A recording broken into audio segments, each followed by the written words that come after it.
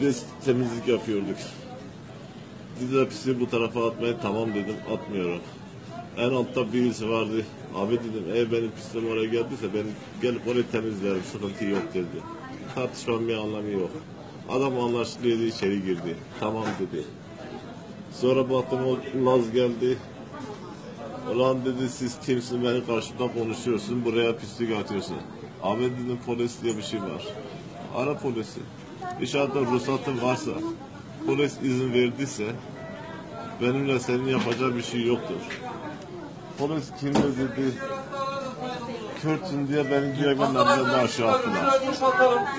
Benim nereden de aşağı attılar artık ne olduğunu artık bilmiyorum. Tabii kendimi gördüm hastanedeyim.